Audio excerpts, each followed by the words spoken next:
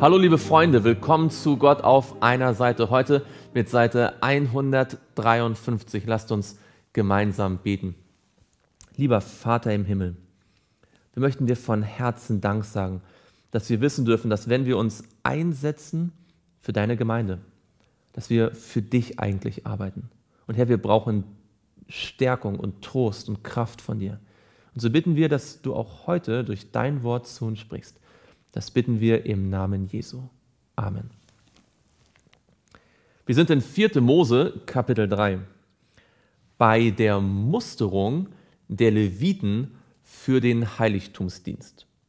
In Vers 29 heißt es, die Sippen der Söhne Kahats sollen sich an der Seite der Wohnung gegen Süden lagern. Und der Fürst des Vaterhauses der Sippen der Kahatiter war Elisaphan, der Sohn Usiels. Und ihre Dienstaufgabe war die Lade und der Tisch und der Leuchter und die Altäre und die Geräte des Heiligtums, mit denen sie den Dienst verrichteten, auch der Vorhang und, Vorhang und was zu seinem Aufbau gehört.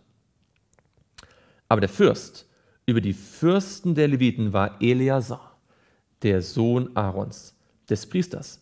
Er hatte die Aufsicht über die, welche den Dienst am Heiligtum verrichteten.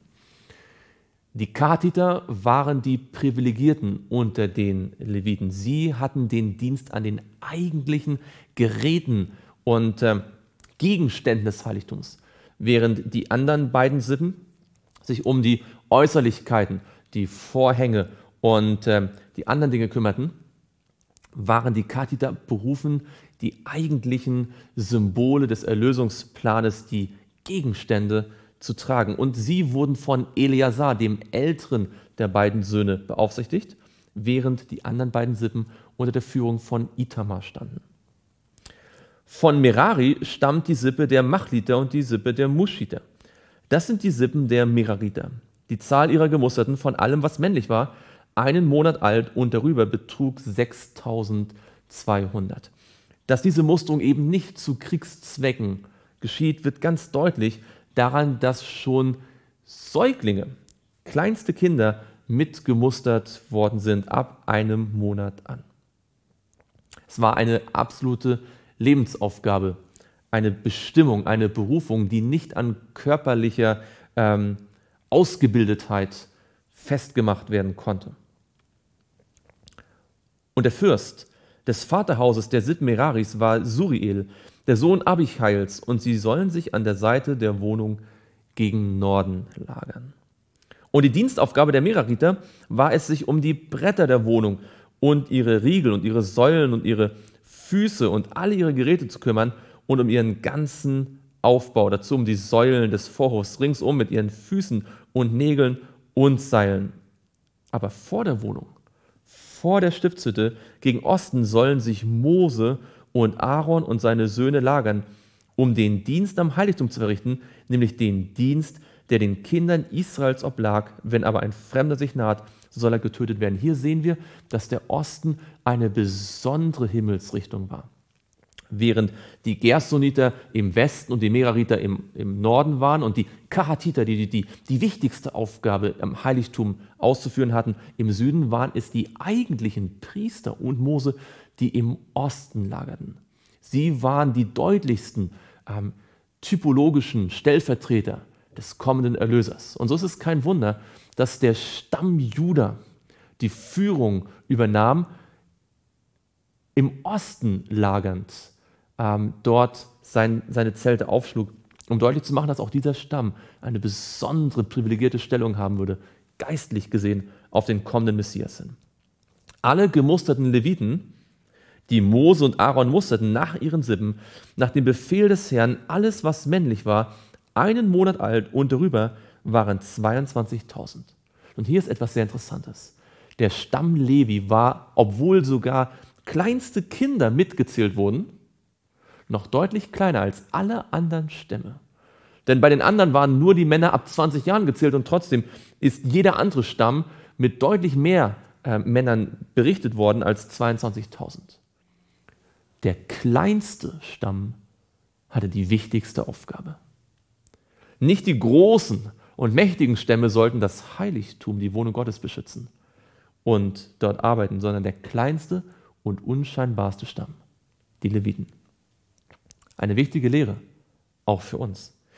Und der Herr sprach zu Mose, mustere alle männlichen Erstgeborenen der Kinder Israels von einem Monat an und darüber und zähle ihre Namen und nimm die Leviten. Für mich, für mich den Herrn anstelle aller Erstgeborenen unter den Kindern Israels und das Vieh der Leviten anstelle aller Erstgeborenen unter dem Vieh der Kinder Israels. Und Mose musterte, wie der Herr ihm geboten hatte, alle Erstgeborenen unter den Kindern Israels da belief sich die Zahl der Namen aller männlichen Erstgeborenen von einem Monat an und darüber aller, die gemustert wurden, auf 22.273. Und der Herr redete zu Mose und sprach, Nimm die Leviten an, Stelle aller Erstgeborenen unter den Söhnen Israels und das Vieh der Leviten für ihr Vieh, damit die Leviten mir gehören, mir dem Herrn. Die Erstgeborenen sollten, und das haben wir in 1. Mose schon gesehen, ein besonderes geistliches Privileg haben. Sie sollten in gewisser Weise sozusagen die Priester ihrer Familie sein. Sie hatten das geistliche Erstgeburtsrecht. Aber dies sollte jetzt übergehen auf die Leviten. Und damit wird deutlich, welche eine besondere geistliche Funktion die Leviten haben sollten. Und dieser Übergang von den Erstgeborenen auf die Leviten, der wird sehr genau hier dokumentiert, um deutlich zu machen, dass tatsächlich die Leviten diese Aufgabe der Erstgeborenen, diese geistliche Führungsaufgabe übernehmen sollten. Aber als Lösegeld für die 273 überzähligen Erstgeborenen der Söhne Israels über die Zahl der Leviten hinaus, weil es ja 22.000 Leviten gab, aber 22.273 Erstgeborene, sollst du je fünf Schekel erheben für jeden Kopf. Und zwar sollst du es erheben nach dem Schekel des Heiligtums mit 20 Gera pro Schekel. Und du sollst dieses Geld als Lösegeld für die Überzähligen unter ihnen Aaron und seinen Söhnen geben. Da nahm Mose das Lösegeld von denen, die überzählig waren, über die durch die Leviten gelösten.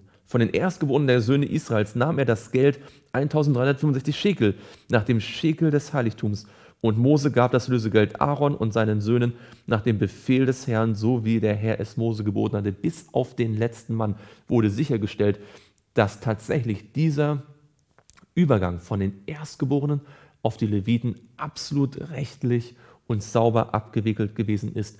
Die Leviten sollten tatsächlich dieses geistliche Privileg haben, das vorher die Erstgeborenen gehabt haben.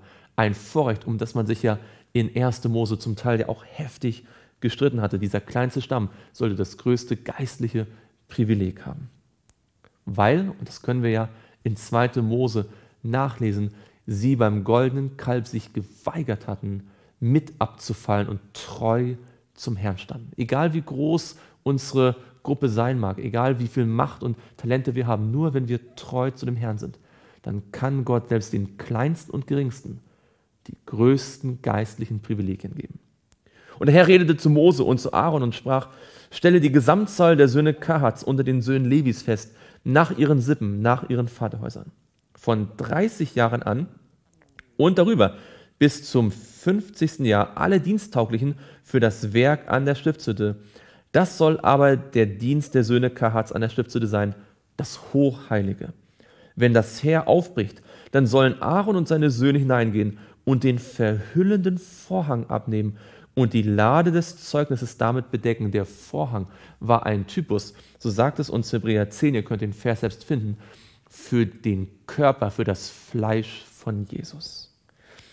Und so wie, die, wie der Vorhang die Bundeslade verhüllte, so befand sich in Jesus das Gesetz Gottes. Es war in seinem Herzen. Und sie sollen eine Decke aus Sekufellen darauf legen und oben darüber ein Tuch bereiten, das ganz aus blauem Purpur besteht und die Tragstangen einstecken. Lasst uns gemeinsam beten. Lieber Vater im Himmel, wir möchten dir von Herzen Dank sagen, dass in Jesus die Herrlichkeit deines Gesetzes sich offenbart hat und dass er sein, dein Gesetz im Herzen gehabt hat und dass wir von ihm lernen dürfen.